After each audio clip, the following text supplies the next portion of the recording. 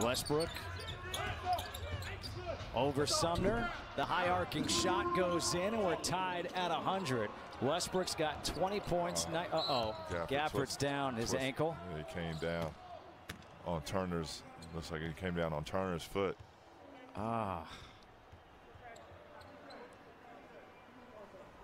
Club, one that we really haven't seen the last two years. And right there, came down on the foot of Sumner. And he was down on the ground for quite some time, had to be helped to his feet, would not put weight on his foot.